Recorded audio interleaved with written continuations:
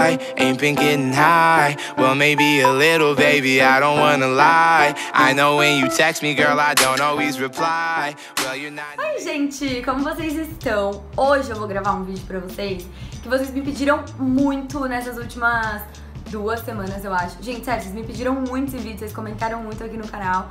Vocês queriam um tour pelo quarto, então hoje eu estou aqui pra mostrar cada detalhe do meu quarto pra vocês.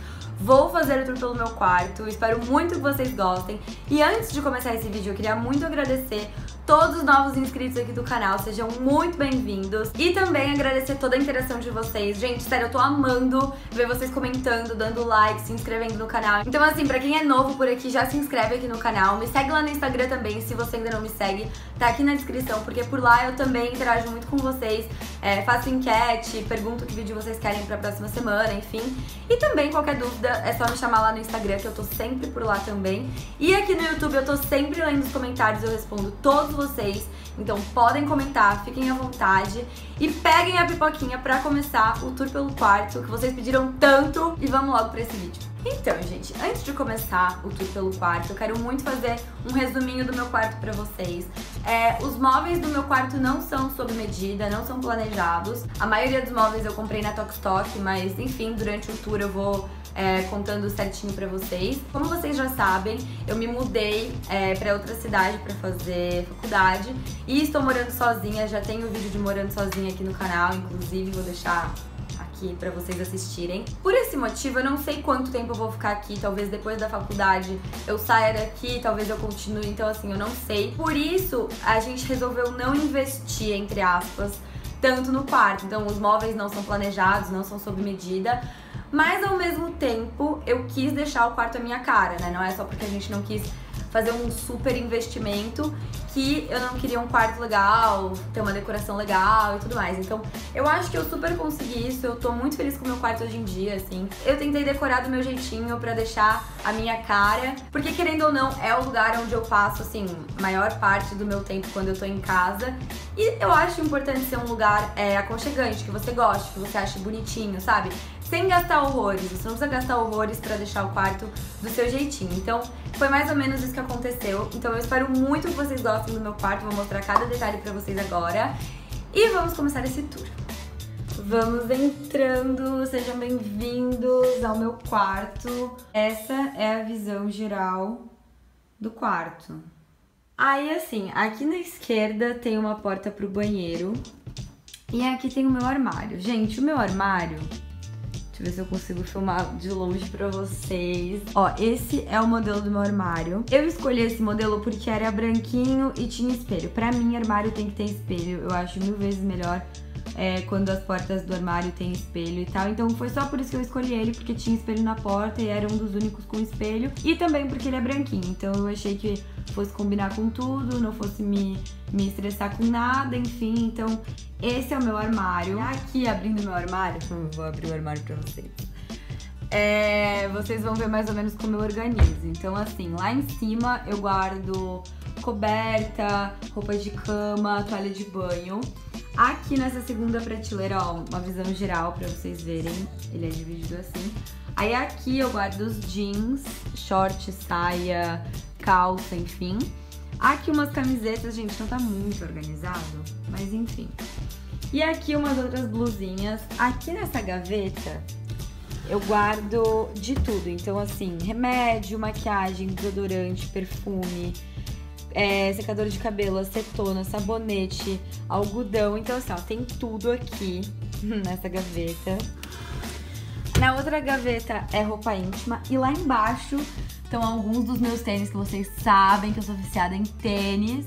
E aí vamos para outra porta. Aqui eu guardo tudo que é de pendurar. Então, assim, casacos, vestidos, blusas que eu prefiro pendurado, que dobrar é, macacãozinho e tal. Então, assim, roupas mais compridinhas que sejam de pendurar. Aqui eu tenho mais alguns sapatos também. E lá em cima também roupa de cama e coisas que não são muito importantes. Então, beleza. Passando o armário, aqui do lado tem esse espelhinho que eu amo. Eu sempre tiro foto aqui, eu acho ele muito bonitinho. eu comprei esse espelho na Tokstok também. Ele é esses espelhos móveis, sabe?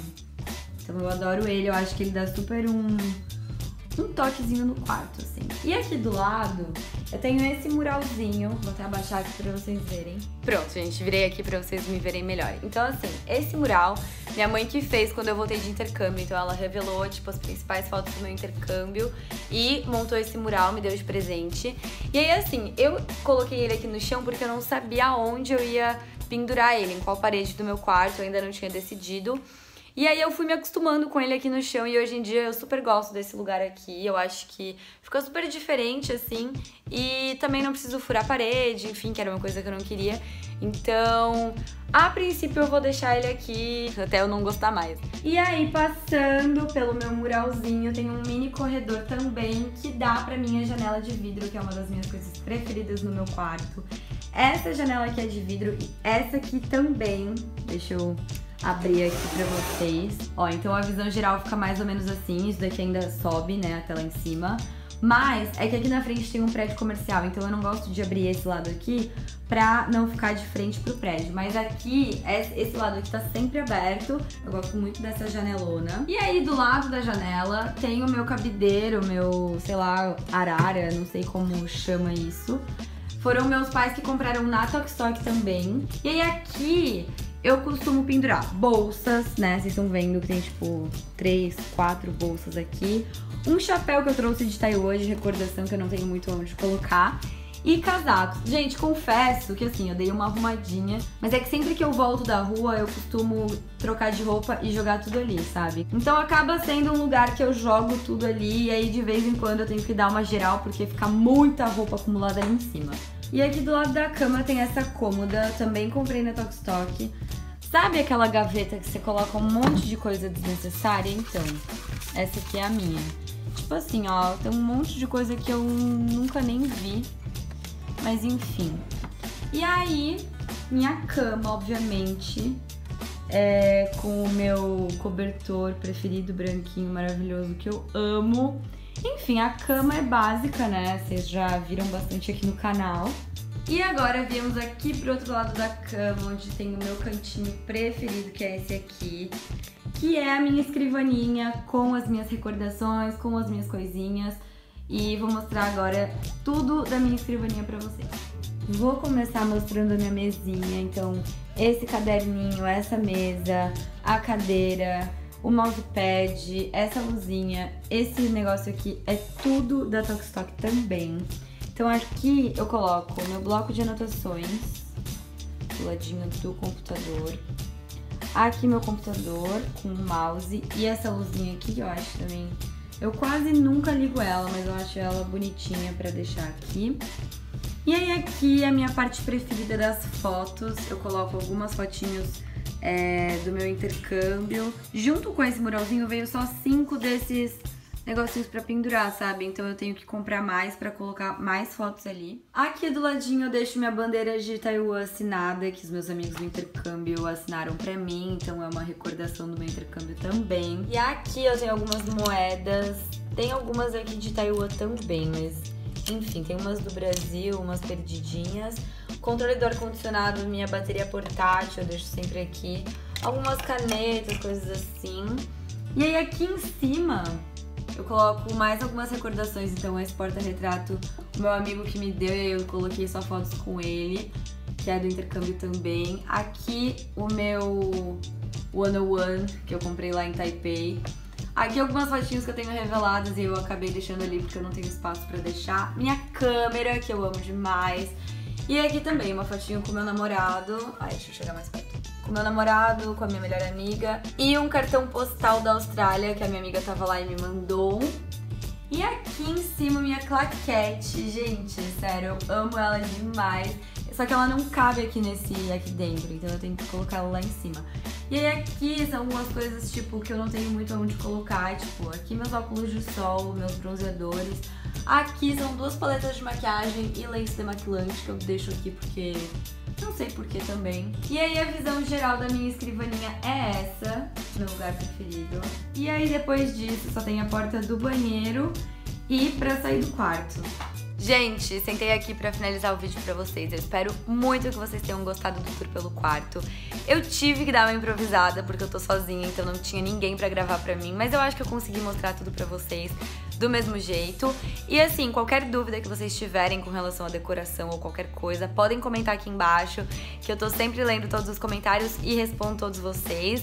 E também lá no Instagram, para quem ainda não me segue, me siga, tá aqui embaixo na descrição. Então corre lá para me seguir, porque também qualquer coisa podem perguntar por lá, que eu tô sempre respondendo todo mundo. Então é isso, gente. Se inscrevam no canal se vocês chegaram agora por aqui, deixem muito like pra mim. Aos novos inscritos, sejam muito bem-vindos e bem-vindas. Espero muito que vocês gostem do canal. Lembrando que tem vídeo toda quinta-feira. E é isso, um beijo e até o próximo vídeo.